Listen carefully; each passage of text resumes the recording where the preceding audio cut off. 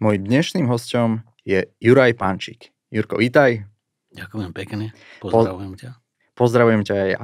Uh, Juraj, naposledy sme sa stretli a hovoril si mi svoj príbeh, uh, bolo to pri nejakej takej zaujímavej udalosti a veľmi ma to zaujalo. Práve preto som ťa dnes pozval, aby si nám porozprával nám všetkým svoj osobný príbeh, čo si zažil, odkiaľ pochádzaš, koľko máš rokov, čo v tom tvojom živote sa vyskytlo, čo je zaujímavé, lebo naozaj si prežil veľa, veľa, veľa a máš, myslím, že s čím sa podeliť, tak práve preto sme tu a nechávam ti slovo. Mm, ďakujem veľmi pekne. Všetkých pozdravujem aj, čo budú sledovať toto, tento podcast. Tak ako si povedal, ja sa volám Juraj Pančík, som z Brezna. Budem mať za chvíľu okrúhle výročie. Nebudem vraviť aké. 20. 20, áno. Som ženatý, mám dve deti, mám úžasnú rodinu, skvelú manželku, deti, na ktoré som nesmierne hrdý. Takže taká idylka. Idylka dobrého máme zaťa, dobrú máme nevestu, máme teraz vnúka, má rok a pol. Čo viac si prijať. Čo, čo viac si prijať, to je taká radosť do života naša. Takže tak, no. Akože podnikáme spolu s chlapcom, máme firmu, máme autodopravu. Mm-hmm. Je to šikovný chlapec, je to dobrý vedúci, on je vedúci a mu len pomáham, čo je potrebné, je veľmi šikovný. Janka je zubárka, dcera zase to taký zázrak tiež. Keď bude čas, tak to potom poviem. Takže tak, úžasných ľudí mám okolo seba, ktorí ma podporujú, ktorí ma držali aj vtedy, keď bolo najviac potrebné. Uh-huh. A ďakujem Bohu za moju manželku aj za moje deti. A že bola vtedy so mnou, keď, keď som to najviac potreboval. Že ma neopustila aj v tých chvíľach, ale vždycky je so mnou. A prešli sme toho veľa. Aj predtým, aj teraz. Takže sa asi toho dosť odohralo v tvojom živote, ale poďme pekne po poriadku. Vyrástol si v Brezne, predpokladám, že si ostal na tom istom mieste. Ako sa tvoj život vyvíjal? Aké bolo tvoje detstvo? Čo rodičia? Ako si trávil čas? My, ja som sa narodil, sme bývali na Čiernom balogu, to je dedina 10 km od Brezna, ale potom naši postavili dom na Mazorníku, to je také predmestie Brezna, a tak, aby som ja mohol ísť do prvej triedy tam sa presťahovali. A potom som chodil do školy do Brezna. Detstvo bolo úžasné, fantastické. Ja to, tieto deti, ja som z toho sklamaný, že oni v podstate nemajú čo robiť. My sme sa nemali kedy nudiť. My sme fotbal, hokej v zime, lyže, také boky sú nad nami, také to sme volali boky a to sme zlyžovali celú zimu. Bolo snehu nejako teraz. Takže to bola jedna fantázia. No. A čo puberta potom? No, puberta. puberta bola taká, taká normálna puberta, vieš, ako no, tak vtedy sa za fľašu dali kúpiť detvy, takých 10 cigarietov, tak sme tam začínali s takýmito vecami. Krávali sme karty na peniaze a také veci už keď sme do toho puberty prišli. No a potom už sme šli na strednú školu. Keď sme šli na strednú školu, tak to už bolo tak viac menej, by som povedal, také zaujímavé. A v čom? Zaujímavé. Spomínam si na to, že ako my sme boli spolužiaci, my sme sa poznali ako. Chodili sme do jednej triedy s kamarátmi a leže ja som bol z jednej ulici, oni boli z druhej ulici. Ale si pamätám, v 79. alebo kedy to bolo, boli uholné prázdniny. Boli sme doma. No, my sme chodili na učňovku, tak sme chodili na prax. Ale to sme väčšinou boli doma a vtedy vznikol taký klan, taká partia naša. Že, a tam sa to celé začalo. Tam sa to celé začalo, že, ale naozaj, že skvelí muži, riadní chlapi, dobrí a pamätám si, že čo som aj hovoril vtedy, čo si vravel, že vyrastali sme na, na rýbe z víne. že kamarátov otec robil rýbezlivé víno a on posťahoval to dobré a nám na ten čmund, ale nám to bolo dobré. My sme to dali všetko do poriadku. A ešte aj to, čo som ti hovoril, stará mama ženina robila také jablkové víno a to... to, že bude prascované, my sme, my sme boli dobre prasce, my sme to popili. Na tomto sme začínali, vieš. Takže že... naozaj podcast začíname dobre. Na tomto sme začínali, toto bolo naše detstvo a okolo nás sú hory a bola taká... Bolo taká, to kde vybehať. Bolo to kde vybehať a my sme mali takú, taká chata tam bola, to ako mojej manželkina stará mama, tam mala takú, takú izbičku, tam chodili, vieš, tam hrabali v zime a v lete a v zime tam chovali statok. Oni potom už boli dolu v dedine a my sme na tú izbičku chodili, vieš, no a vieš, robila sa tam gauza. Urobili sme si tam vlek v zime, taký na nafťák a tam sme sa chodili lyžovať. No a vieš, čo bolo okolo toho. Čo? No, gitary. Mali sme takú kapelku, Takže veselý život, veselý život. veselé dospievanie. Tri gitary, keď sa zobrali, vieš, a tri gitary, keď začali tam v tej doline hrať, to bolo nádhera. Začalo sa spievať, aj dievčatá, chlapci spievali okolo ohňa. Bol- Bolo to nádhera, no ja by som to nevymenil za nič. A naozaj, že akurát to, že no, dosť sa popilo, dosť sa popilo. Na to, že sme boli také deti, tak sme dosť tvrdo s tým. Začali ste z hurta. Z úrta. My sme boli rockery proste. Mhm. My sme si kúpili kožáky čierne, rifle, kozačky, vieš. A žváňo, A už to, gitary na už to išlo. Len sme začali kariéru z, z, úplne z opačnej strany. Vieš, že nie muzikou, ale my sme začali s alkoholom a tak. Vieš, že to, chodili sme na, na skúšky, no ale keď boli skúšky, tak prišli aj kamaráti, aj s kamarátkami, vieš, do miestnosti a bola tam zábava, my sme hrali do rána, vieš, ako Tak taký- sa veľa nenaskúšalo. Veľa sa nenaskúšalo, no viac sa popilo, ako nahralo, ale čo už. Tak hovorí, že pekné detstvo, potom uh, takáto, takáto puberta, alebo respektíve dospievanie, veľa, veľa povinností, radostí. A čo ten život potom vyprodukoval ďalej? ten život vyprodukoval to, že, že bolo treba maturovať. A vieš, ako sa maturovalo, keď, keď sme viac sa flákali, ako, ako, ako sme sa učili. Tiež s gitarou? Tiež s Mm. gitarou. Lebo to vieš, každý vedel o tom, že hrávam aj s kamarátom, že hrávame, tak si nás volali aj tí starší, keď maturovali. Nás zavolali, poďte sa hrať. Vieš, ako no. Tak už vás poznali. Peňazí nebolo, tak bolo dobre, keď si sa dade dostal, kde ti takto kúpil cigarety a takú fľašku, vieš, takže sme to robili väčšinou za to, ale oni mus maturovali a my sme museli ísť do školy. No a tak toto prišlo. Ale ďaká Bohu sme ako, ako sme to prešli, zmaturoval som, potom som išiel na vojnu.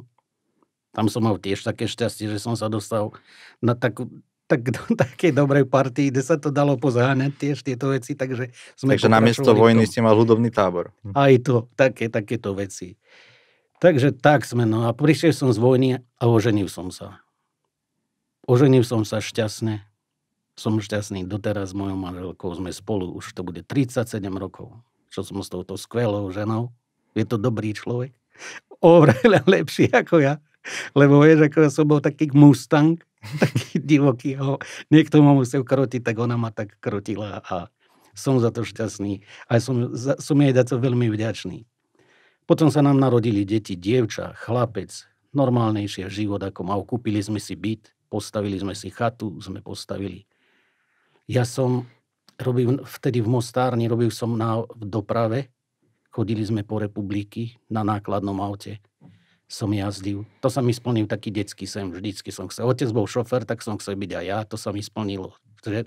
Mladý chlapec a prešiel som celú republiku, takže to bolo dobré. No ale tak vieš, ako tiež boli šoferské dny v piatok, tiež sme si popili a takéto veci. V dade v rodine bolo zase čo, tak zase sme len popili. A takto to bolo, že môj život išiel aj s alkoholom. Tak kedy som si aj pospal, kade tade, že som nedašiel domov a také veci normálne. Takže ľuďom v tvojom okolí sa spájal Juraj a alkohol. Viac menej by som povedal, že hej. No tak a nie, nebol som v tom sám. No. Tak boli ste viacerí Boli sme v tom slov. viacerí.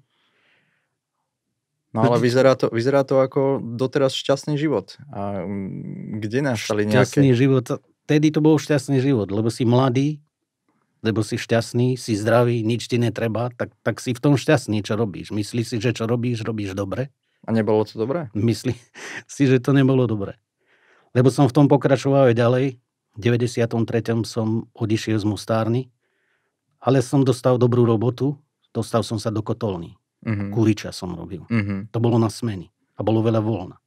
Tak som chodil po brigádach. Takže sa dalo privyrobiť. Dalo sa privyrobiť, ale dalo sa aj popiť. Zase popri tom. Takže zase to znova išlo s tebou? Znovu to išlo. Znovu to išlo. Ale potom som začal činky naťahovať. Povedal som si, že toto je asi nedobrý život, ktorý vediem, tak som s tým aj zaťal na chvíľu a tak, tak 7 rokov som asi činky naťahoval. Ale takže v lete som väčšinou robil, vieš, že sa tvrdo robilo a v zime som ro- činky naťahoval. Mm-hmm. Takže mal som to tak pod kontrolou, že vieš, dal som si víno alebo pivo a utekal som domov. Lebo, lebo som cvičil obdeň. Obdeň som cvičil. Pondelok, streda, piatok, nedeľa vždy. A keď som sa dostal do kondícií, tak som ešte ten, tie voľné dny som ešte hrazdu kliky som robieval, deti som si malé zobral na, na seba, na, vieš, na charbát a s tým som robil a drev som. Kamaráti tiež, dobrá partia, sme boli aj v činkárni potom.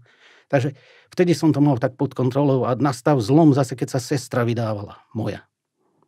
Tak eh, nemal som kde chodiť na brigádu a manželkin strýko on robil väzby, vieš, ako zruby, krovy, robil s drevom ano, proste robil a potreboval chlapa, lebo že mu aj odkarujem, keď bude treba, aj pomôžem dačo. Len sme sa tam stretli, tá partia moja. Zase tá stará. Tá stará partia, čo sme spolu vyrástli. Takže znova. To bolo plno srandy a plno pálenky. Čiže my sme boli zretí aj, aj, aj, aj 5 dní. Ja som pil dotedy, kým som, kým som vládal.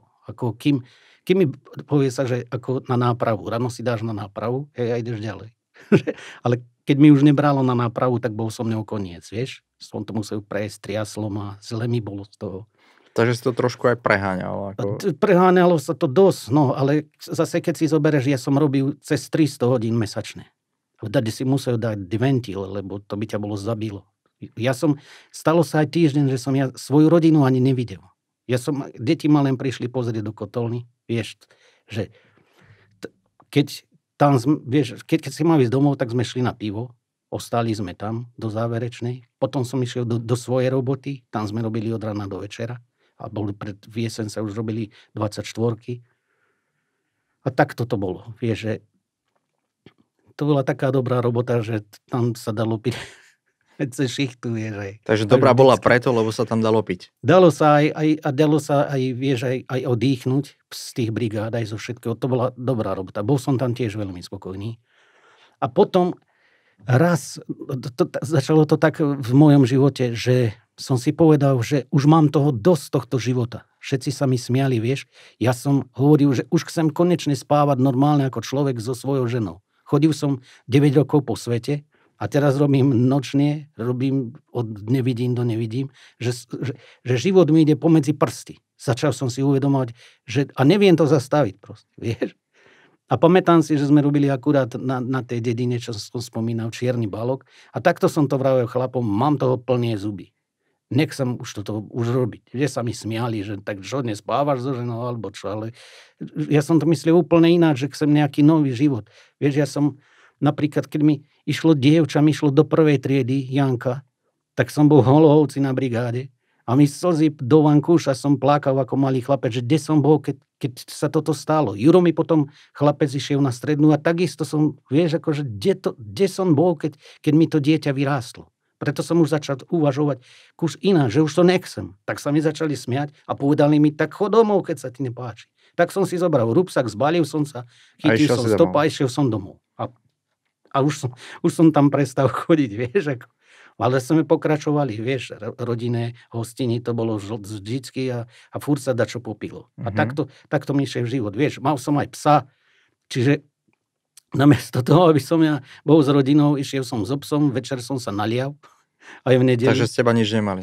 Skoro nič som mňa nemali. Že úplne život o ničom, keď sa na to pozriem dozadu. Vieš, vtedy sa mi to zdalo, že je to normálne, že to každý robí. Paradoxne presne som chcel povedať, že ľudia si možno povedia, že toto je ten šťastný život, že dobrá práca, máš čas aj na seba. Hej, a... privyrobíš si, vieš, akože nedostatok nebol. Ja som chatu staval, tam išli peniaze, vieš, byť sa porobilo kadečo v byte. My, nedostatok sme nemali vôbec, akože. No a keď sa na to tak spätne pozeráš teraz? keď, keď sa na to spätne pozerám, tak bol, to bol stratený čas, keď sa mm. na mhm. to pozriem. A pamätám si, neviem v koľkom to bol rok, ešte zomrel nám kamarát. Ako, ale už mal tak cez 50 rokov, zomrel nám na kotolný, ako na podniku kamarát. Mm-hmm. A mhm. on s nami kúril, na našom sídlisku, na Mazorníku som ja kúril.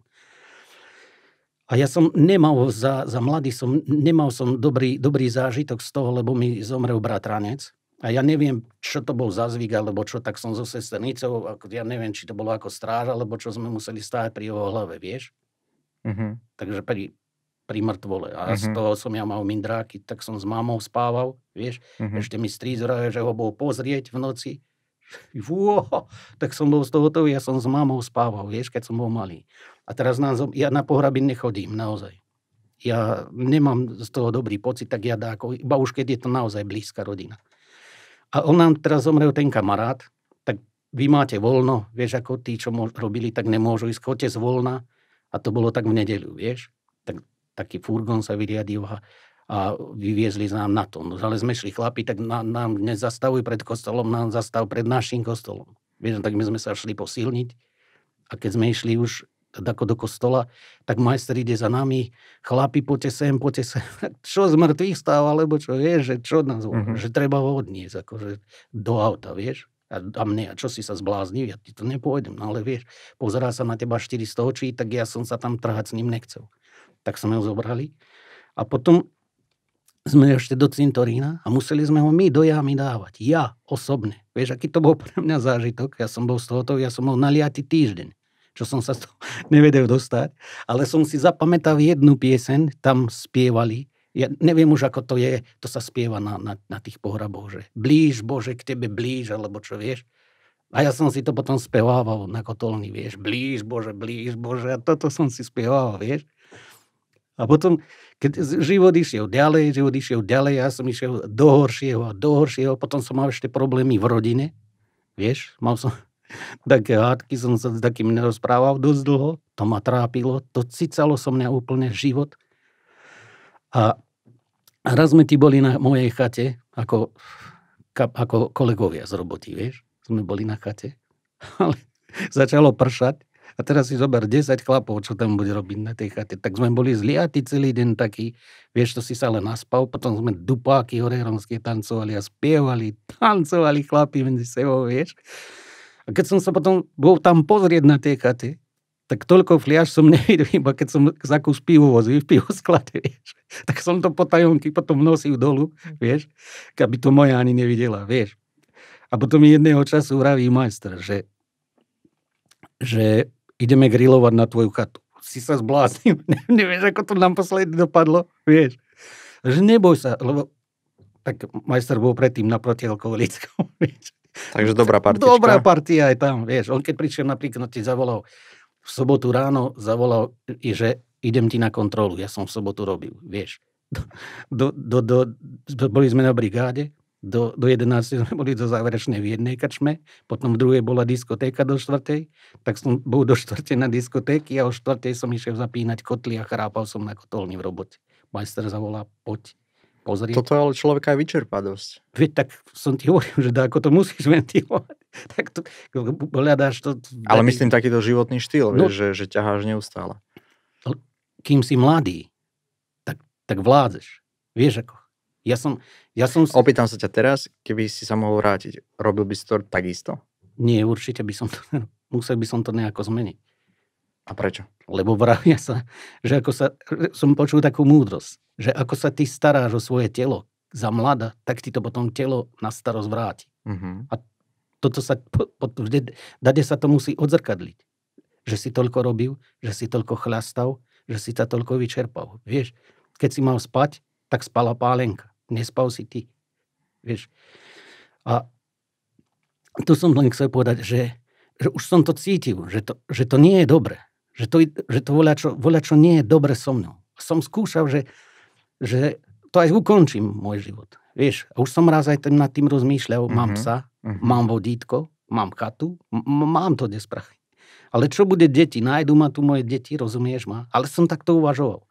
Ale zázrakom ti tam prišli dvaja kamaráti na bicykli, hneď fľaštička na stôl a bolo povešaný, vieš. Ako, takže... Takže, takže ten životný štýl, čo v tebe vyprodukoval, tak, tak už si s tým nechce ďalej žiť, nechcel si tak pokračovať. Už, a... už som nevedel, ako s tým žiť, lebo už, už asi, asi to bolo na konci, alebo čo ja už, vieš, ako, rozmýšľal som, že toto nemá žiaden význam. A začalo to tak nevinne, začalo to úplne v rámci srandy, zábavy, ale potom sa to viezlo s sebou. No lebo to vieš, už sa z toho nevieš dostať. Tak to som chcel povedať, že boli sme na tej chate, na mojej, grilovali sme. Da, tak uh, už majster už bol ako vyliečený, tak jemu som dal na starosti chatu, ty to máš na starosť, toto pozanky ináč vieš porobiť poriadok. A mali sme tam šoféra, čo vozil riaditeľa na 613 Tatre, ak vieš, aké to boli autá. Áno, áno. na tom vozili. A mal svoju 613. A našťastie vymenil. Vymenil, tú podnikovú odviezol na podnik a doviezol svoju. Uh-huh. Ale nikto nechcel s ním chodiť. Aj šarkám volali, vieš. tak sme ostali my iba opozdilci s ním, vieš. No a ostatní šli na podnik, zobrali všetok, čo bolo treba, vieš, proviant a že sa stretneme a na podniku budeme pokračovať v tom, čo sme započali. Ale už čas prešiel a ja hovorím, tady to je skratka. Ja poznám skratku a pôjdeme skratkou, ale to je kopec a cesta taká polná len, vieš, a tam je jedna taká zákruta, tak, také esíčko.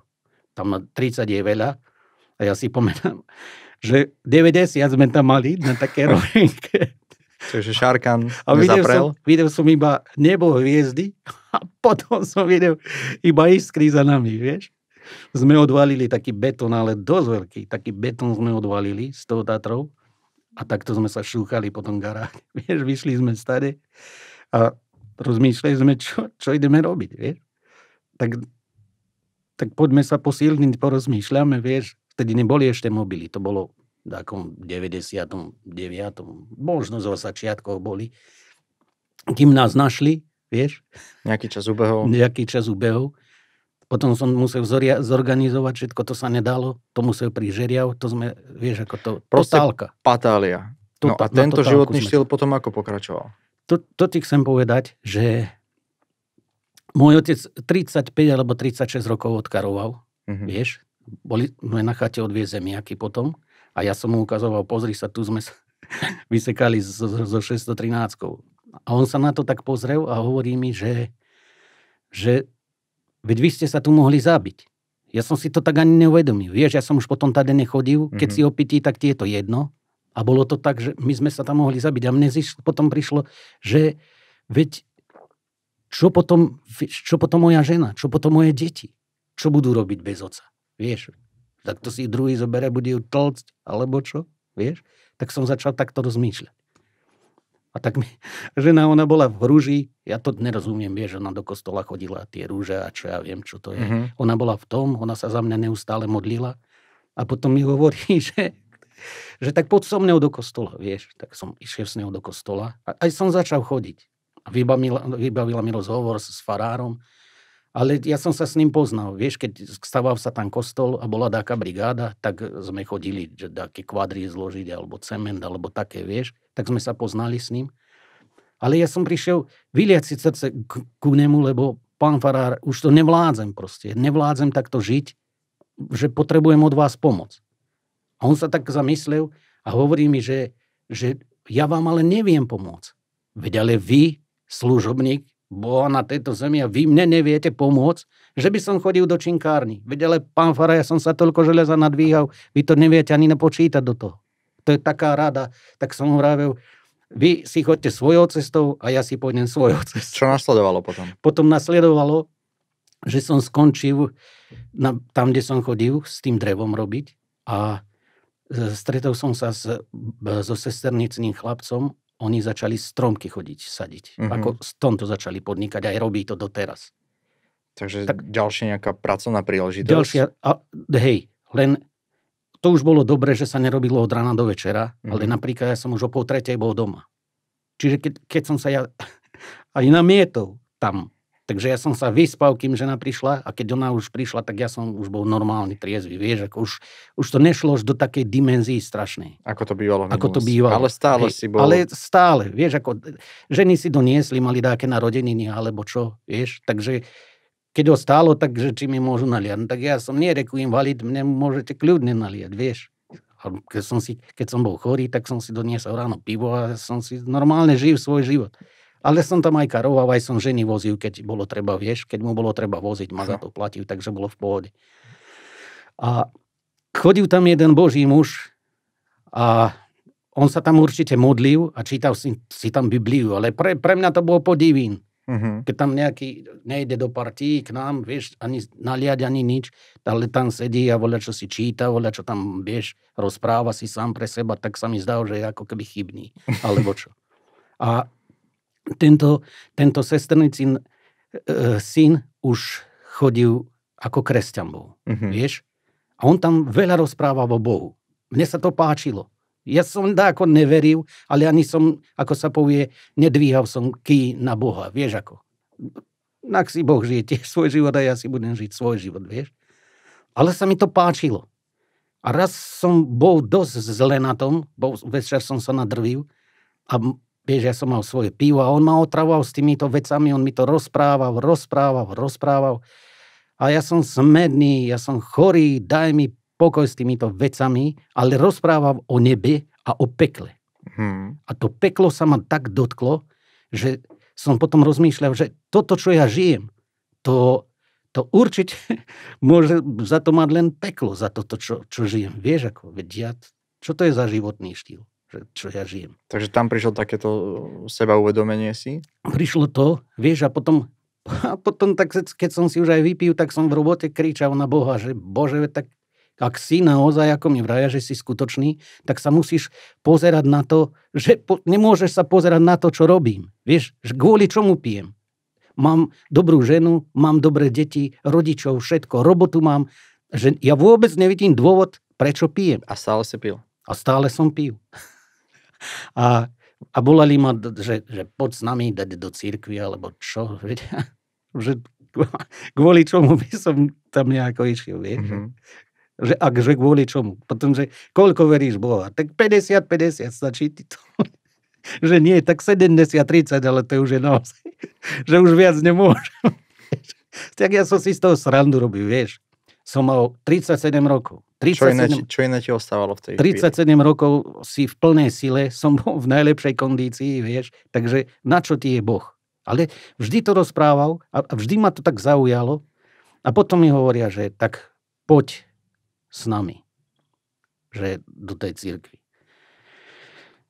Tak som sa raz odhodlal, povedal som žene, idem tam a tam, idem, idem vyskúšať. Vieš, ja som jej povedal, ja idem k jeho vystom, tí nepijú, som počul. Vieš, idem na protialkoholické, ona vraví, to je hamba. Hamba je toto, čo robím, ja si myslím. Že tam nechoď, tam nechoď, tak idem sem. Keď je to zadarmo, nič, tak idem. Vieš? Tak som išiel s nimi do tej cirkvi a sa mi páčilo, lebo tam v chvále hral taký dobrý muzikant. Keď, da, kedy som aj ja dačo. To si išiel k tým jehovistom? Nie, nie, nie, už som išiel k tým kresťanom. Aha, aha Ako? áno, ok, dobre. A už s tým chlapcom, s tým sesternicinom. Ktorý ti rozprával o Bohu. Kto mi rozprával o Bohu, tak som išiel. A tam bol taký dobrý muzikant, chvála hral, tak to ma zaujalo strašne, vieš? A zaujalo ma aj to, čo rozprával ten človek.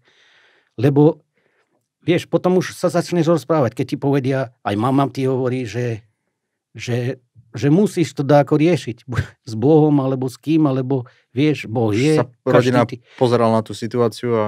Že Boh je a toto, toto, ale ja ho nepotrebujem. Ale teraz som už zistil, že Bože, tak roz, vieš, rozprávaš nejaké veci, že Bože, ak si a toto rozprávaš a odrazu to počuješ, že to, voľa, kto ti tam rozpráva na tej kázni, to, čo, to, čo ty sa rozprávaš s Bohom, to čo je, reku, toto?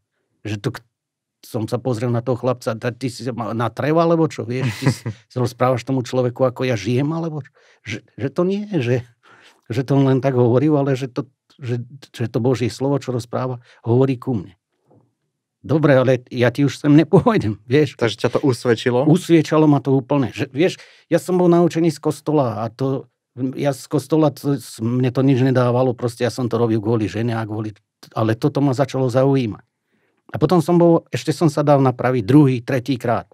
A tre, tretí krát asi, keď som bol, tak ti tam ten, ten, čo to viedol, ten pastor, dal výzvu, že tu majú štyria ľudia problémy s alkoholom. Tak vieš, ako som sa popozeral, ja nemám, uh-huh. kde sú tí štyria, ako, vieš. Že nech idú dopredu. idú dopredu.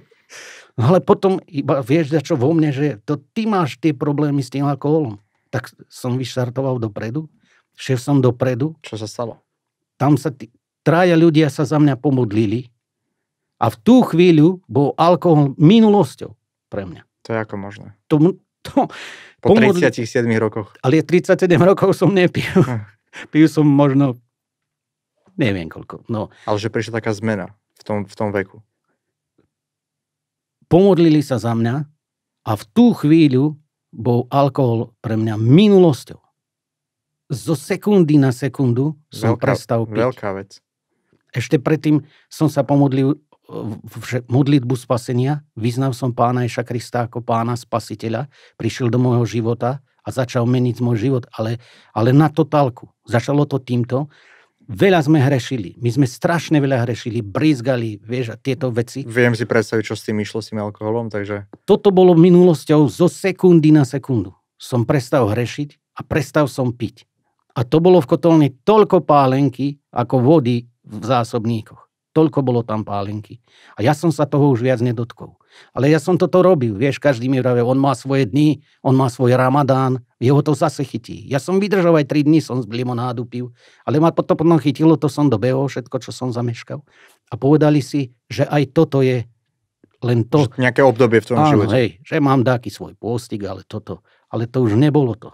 Lebo ti hovorím, uveril som Krista. Ten chlapec mi to hovoril, ja som išiel tam, ja som uveril v, v, živého Boha a ten Boh začal úplne meniť môj život. Ale úplne, úplne, úplne. Že to, čo bolo zlé, ja som všetky kamarátstva odstránil, už som sa s tými ľuďmi nestretal, ja som do krčmy viac nešiel, ja som začal slúžiť Bohu. Asi po štyroch mesiacoch som začal hrávať v chválach. Za- povedali mi, že začni sa modliť, začni študovať Božie slovo a začni chodievať do zhromaždenia. Tak som, lebo ja som verný bol aj v krčme. Ja som tam verne mal svoje miesto, všetko som mal verne a len toto, čo bolo verné v mojom živote, to, to isté som potom začal robiť Takže tú vernosť si presunul som niekde presunul inde. niekde inde. Začal som slúžiť Bohu, začal som sa modliť. Ako na začal... to reagovala tvoja rodina? To... Monželka sa modlila k Bohu, Mhm. že už nechce, aby sa žil takýto život, aby to nebolo, takže pre ňu to bolo iba vhod. Vieš? Takže bola si za to rada. Bola rada. Vieš? Že, že len kde to zase chodí, vieš? Že ona chodí do kostola, ja som chodil dade inde. Lebo na dedine je len si buď len katolík, evangelista alebo jehovista. Mhm. Takže ja som bol asi jehovista, lebo som ne, nechodil do tých dvoch, takže Tak to vieš, ťa ľudia mali zaškatulkované. to ťa majú zaštatolkatovaného až doteraz. takže na tom sa nič nezmenilo. Začalo sa to meniť v mojom živote, začalo sa to meniť v, živo- v celej mojej rodine. Asi po troch mesiacoch uveril, teraz bude 21 rokov, v novembri je 21 rokov, ako som uveril v Krista. Teraz dá ako teraz. Janka uverila dcéra, mala 12 rokov, keď uverila v Krista, lebo som si hneď kúpil Bibliu a ja som to hneď začal rozprávať im z Biblie. Hovoril, som im, toto bolo, toto bolo, toto bolo na kázni, toto som vyčítal v Biblii, začal som to rozprávať aj rodičom, všetky A tieto čo to veci. znamená uveriť v Krista? Znamená to, uveriť v Krista znamená, že ho príjmeš do svojho srdca ako pána spasiteľa a že on ti odpustí svoje hriechy. Že to, čo som robil zlé vo svojom živote, prišiel Ježiš do môjho srdca, odpustil mi tie hriechy, zmiloval sa nado mnou, nad tým môjim životom, to všetko vyčiarkol a dal mi nový život. Zapísal v knihu života v nebi môj život. Tam som napísaný. Je, ťažko sa tomu verí, ale Že po takom životnom štýle a, a tých zlých všetkých veciach a zrazu všetko je nové a všetko ti odpustil. lebo ľudia si myslia, že musíš robiť nejaké skutky preto. Ľudia si myslia, že musíš chodiť niekde okolo kostola po kolenách alebo čo, ale to je z milosti. Boh z milosti mi odpustil hriechy, z Boh zo svojej milosti a svojej dobroty a svojej lásky ma prijal takého, aké, akého som bol. Lebo ešte som zabudol povedať, keď som chodil do tej hory, tak som si tak srdce vylieval pred jednou tetou a tá teta mi hovorí, že keď som jej povedal, aké mám problémy a všetko toto, ona mi hovorí, že Jurko, teraz si ľahni tu do trávy a povedz Bohu, aby si ťa zobral takýho, aký si. Hej? A som vravil, a toto mňa nenapadlo, tak stará žena mi musí dávať takéto rady. Som si myslel, že ľahnem do tej trávy a zomriem, rozumieš? A budem mať svetý pokoj. Ale ja som zomrel tomu, v tú chvíľu som zomrel tomu, čo som žil. A potom, čo ti hovorím, už ten, keď som išiel do cirkvy a keď som už vyznal a uveril v Krista, to už bolo len, už Boh dávno pripravoval tieto veci pre mňa. Že, že toto bolo len tá pani, čo mi poradila, to bolo len... Také vyvrcholenie. Vyvrcholenie a to bolo odozdanie môjho života Kristovi. Vtedy som odozdal môj život akože, akože naozaj, Bože, ber si ma taký, aký som teraz. A tam sa začne diať veci, meniť. To, to, čo som povedal. Prestal som piť, prestal som žiť ten život úplne. A začal som slúžiť Bohu. Čo na to tvoji kamaráti? Kamaráti, ja už som potom nemal kamarátov. Takže si odstrihol celý ten... Všetko som to odstrihol. Životný som štýl predchádzajúci Nie, že kamarátov. sú nie moji kamaráti. Vždy sú kamaráti, vždy si máme čo povedať, ale už, už to som, v tú chvíľu som to prestal žiť. Ako ti hovorím, nič neprestalo. Hostiny neprestali, v robote sa neprestalo piť, na brigáde sa neprestalo piť, furt sa pilo, len sa pilo bezo mňa. Uh-huh. A to, vieš, až rok, dokedy ti to vydrží? Rok, dva, 15, 20 rokov. 20 rokov, ďaká Bohu, vždy som triezvou mysľou. Tak to je vynikajúce. Že takáto radikálna zmena dokázala prísť a odtrhnúť od toho, s čím si s tým sám nevedel dať rady. Nevedel som si s tým radi dať, lebo, lebo to bolo o mnoho silnejšie ako ja. A Juraj, toto možno pozerajú ľudia, ktorí s týmto istým majú problém, lebo tak tento problém alkoholizmu v rámci Slovenska je úplne bežný. Ty si v tom vyrástol, e, stretávame sa s tým, je to taká súčasť e, slovenskej natúry. Čo by si odporúčal ľuďom, ktorí majú možno alkohol, možno nejakú inú problematiku vo svojom živote, ktorej sa potrebujú zbaviť. Čo by si im odporúčal? Ja sa s, s takýmito ľuďmi stretávam. Uh-huh.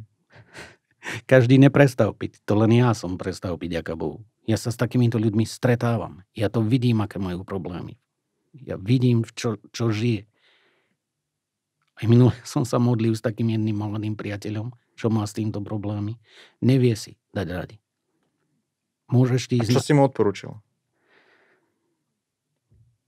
Ja, ja neviem, čo mám odporučiť. Odporučenie je jediné Boh. Lebo jediné Boh ti dokáže pomôcť z každého problému. Lebo Boh je nad všetkým. Boh ťa stvoril, Boh ťa pozná, Boh vidí do tvojho srdca.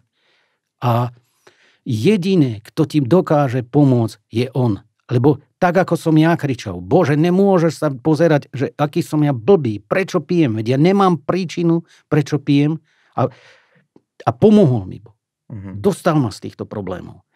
Lebo, vieš, aj keď takto povie, ja, ja neverím, ja som neveriaci, ale Boh stvoril človeka a dal mu túžbu do srdca po ňom, po Bohu. Čiže keď niekto počuje, že mu povie, že Boh je živý, alebo že Boh mi pomohol, tak len to tak zatrasie s človekom. Rozumieš ma? Má také vnútorné svedectvo o tom, že je to pravda. Jasné, že je to pravda, lebo ho Boh stvoril. Každého človeka stvoril Boh. To len teraz jeden ide tam, jeden ide tam, že, sme ako blúdne ovce, vieš? A máme pastiera, ktorý nás chce dať do jedného košiara. Len vieš, že toto ti hovorím, že u mňa to bola nesmierna milosť. Nesmierna milosť, že ma Boh vypočul a, a že, že, že, že som sa mohol obrátiť k nemu a že mu môžem teraz slúžiť. A vypočuje aj iných ľudí? Jasná vec. Boh počuje každého človeka. Boh počuje to, čo hovoríš, Boh vidí to, čo robíš, Boh jasné, že vypočuje. Len, len sa... Poviem ti taký jeden príbeh. Som čítal to v takej knihe jednej, že taký otec so synom robili na pozemku poriadok a povedal synovi, bol taký 10-12 ročný, poriac tento dvor. Hej, ja budem zrobiť svoju robotu a ty poriac toto. Chlapec to dal ako tak do poriadku a bol tam taký veľký kameň, s ktorým si nevedel poradiť ten chlapec. A prišiel za otcom a hovorí mu, že všetko je v poriadku, len všetko som urobil preto, aby som ten kameň dal na bok, ale som ho nedal. A on mu hovorí, že neurobil si všetko preto. Nepožiadal si mňa o pomoc. Keby si mňa požiadal o pomoc, boli by sme ho spoločnými silami odvalili. Toto je presne to, čo sa ma pýtaš. To je odpoveď na to, čo si povedal. Požiadaj niekoho, čo je mocnejší ako ty, aby ti prišiel na pomoc. Ako som to urobil ja presne takisto, tak to môže urobiť každý jeden človek. Jasné, že sa ľudia utápajú v alkohole, v drogách a všetko možnom. Lebo nepoznajú to, čo som mal ja možnosť spoznať že je tu Boh, že ma zachránil a že mi to všetko odpustil. A je to pre každého? Je to pre každého. Pre každého je tu. Boh je pre každého. Boh je osobný Boh. Boh chce mať s každým vzťah. Ku každému chce hovoriť. K tebe, ku mne, k tomuto, k tomuto. A pri každom jednom je Boh. Keď robíš gauzu, je pri tebe. Keď robíš to, je pri tebe. A chce ťa z toho dostať. Chce ťa dostať z tej zlej cesty aby si sa dal na dobrú cestu, aby si sa dal na tú cestu, ktorou je Kristus. Takisto, ako ja som sa dostal na túto cestu. Ja som za to nesmierne vďačný Bohu, že zachránil mňa, zachránil moju rodinu. Ďaká Bohu, mám rodičov, ktorý otec má 87 rokov, ide mať, mama má 82 rokov. Ja tomu verím, že je to len ďaká Bohu za to, že sa za nich modlíme. Sú, to, sú, to sú také veci, že napríklad moja žena v 2009 mala uh, jej uh, našli uh, rakovinu. Diagnostikovali rakovinu. Diagnostikovali rakovinu uh, imunitného systému. To si pamätám. Mala uzlinu na slabinách, tak doktor povedal, to vybereme a bude to v poriadku. Ale keď som bol po výsledky, tak už sa mi ani do očí nechce pozrieť, som vedel, že voľa čo nie je v poriadku. A potom ja som lobálku odovzdal manželke a ja si čítam Bibliu v posteli a ona mi príde povedať, že ja mám rakovinu. Ja mám rakovinu no, imunitného systému. To bola taká rana, že som myslel, že to nerozchodím už. Vieš, čo ja teraz budem robiť? Veď ak, ak mi ona zomrie, veď ja sa zase utopím v alkohole. Že čo budem robiť bez nej? Aj z tohto vám pomohol Boh von? Tak eh, som jej povedal, ona začala si čítať na počítačoch všetko možné. Vieš, hovorím jej, prestan to robiť, lebo ten počítač vyhodím z okna. Ja som sa celú noc modlil k Bohu a ráno som už mal stratégiu premyslenú, čo budeme robiť, ale zavolal som jednému priateľovi a on mi hovorí, že neboj sa, Boh už toľko, toľko diagnóz zmenil a zmení aj vašu. Vedel som, že sa treba modliť a vedel som, že sa k tomu bude treba pôstiť. Mali sme skupinku, slúžil som ľuďom na jednej skupinke. Dal som dokopy tým, ktorí sme sa modlili a pôstili za to, lebo nám povedal ten doktor primár hematológii, že urobíme vám e, akože punkciu, z, z, neviem teraz, z chrbtice, alebo z kostnej drene, presne to bolo. Z kostnej drene vám urobíme punkciu. Ak to tam bude, tak máte problém, ak to tam nebude, tak to vieme vyliečiť. A moja sa spýtala, a bude to tam? A on hovorí, ja som 100% presvedčený, že to tam bude. My sme sa modlili, my sme sa za to pôstili a primár zavolal, že pani Pančíková, ono tam, tam nie je. Úplne to zmenil všetko potom chodila na chemoterapie, chodila na ožiare a ďaka Bohu je zdravá. Aj teraz, aj teraz boli, bola na výsledkoch a všetko je dobré. Akože. Tak Boh aj takéto veci vie urobiť. Boh vie urobiť kadejaké veci. Podnikáme s chlapcom. Denodenne sa modlím, aby nám to išlo. Že 17 rokov sme na trhu, 17 rokov ideme v tom všetkom. To som ešte chcel povedať Janka, dcéra. To bol jeden veľký zázrak, že ona išla z, z hotelovej akadémii, išla na, na školu, na vysokú, na, za lekárku, urobila excelentné skúšky aj na, aj na všeobecné, aj na, na zubné lekárstvo, prijali ju bez akýchkoľvek problémov, ale keďže ona nemala fyziku, nemala chémiu, ak to majú na gymnáziách, takže boli problémy. A som ju už chcel stiahnuť. Po, po, jed, po prvom roku som ju chcel stiahnuť, že asi, asi sme to prehnali. Ale modlili sme sa aj s pastorom, aj spolu sme sa modlili.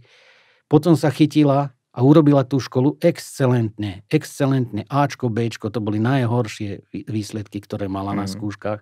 A aj teraz, ďaká Bohu, robila prax, teraz e, už má svoj obvod, robí si na svojom, že to bol jeden veľký zázrak. Veľký zázrak manželka, veľký zázrak ja, veľký zázrak Janka. Že Boh jednoducho počuje. A ktokoľvek na neho zavolá, že potrebuje pomoc a je úprimným srdcom, z úprimného srdca to povie, lebo Božie slovo hovorí, že k úprimnému sa Boh úprimne má. Keď úprimne zavoláš k Bohu, Boh jednoznačne dáva odpoveď. Boh pomôže, lebo Boh je nad každý problém. Boh je nad alkohol, Boh je nad drogy, Boh je nad smilstvo. Nad všetkým je Boh a jeho milosť. Juraj, ďakujem za rozhovor.